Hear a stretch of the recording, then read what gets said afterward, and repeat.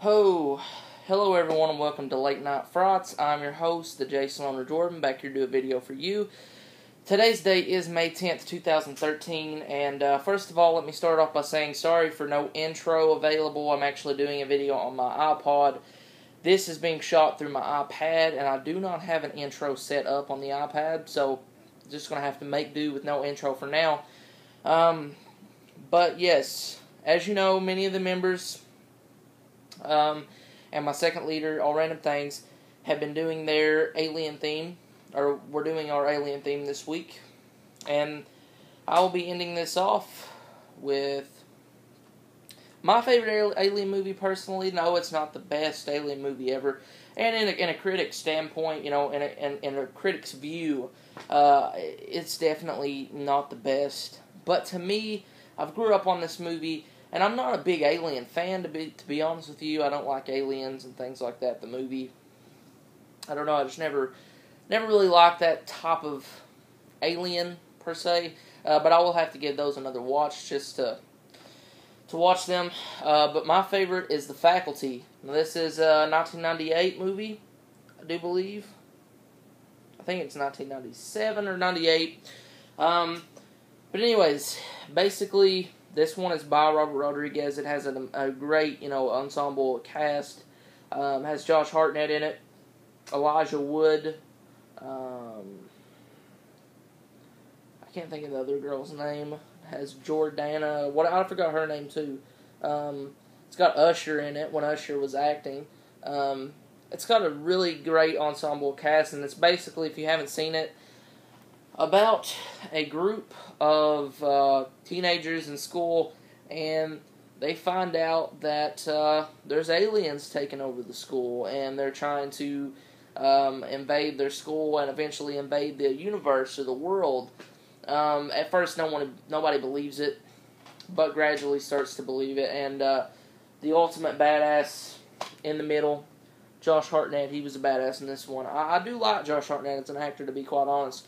Elijah Wood, I like him as an actor too, um, but uh, Usher, uh, I don't know.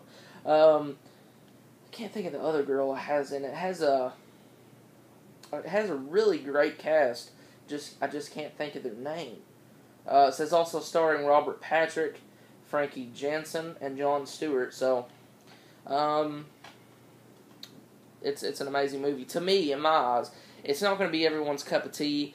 Um, if you don't like late '90s cheesy, it's not really cheesy, but um, it's definitely got that new coming of age feel to it. Um, and and all these characters in this are, are, really relatable in their own ways. And I like what they did at the end. It was a twist that I never seen. Well, I, I knew it was, uh, you know, I knew I it wasn't a bad twist at the end.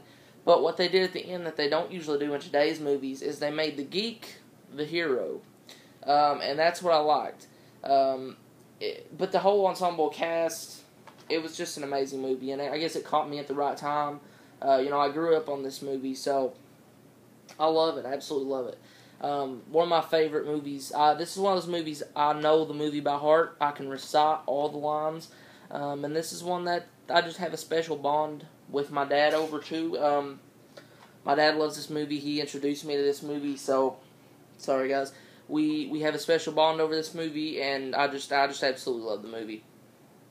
But uh, I will say this: uh, if you're not a fan of late '90s horror, you you probably won't like this. It's not really a horror movie per se. It has horror elements. It's you know the alien movies are horror movies, but it's not too terrifying. There's some pretty cool uh, parts in it, especially the uh, the decapitation scene.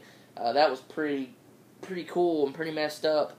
Uh, but the actors in this, they were all young, upcoming actors, even you know, including Elijah Wood, and uh, they did a really good job. I love the movie.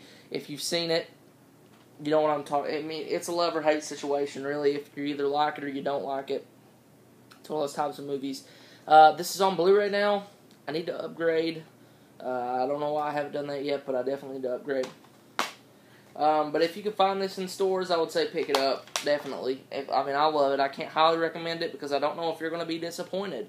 Um, but uh, definitely pick it up if you can find it for. Uh, I would say ten dollars, ten no, don't pick it up if it's twenty dollars. Okay, that's that's outrageous price uh, for new released DVDs. So if you can find it for uh, twelve, ten dollars, yeah, pick it up. Um, the faculty.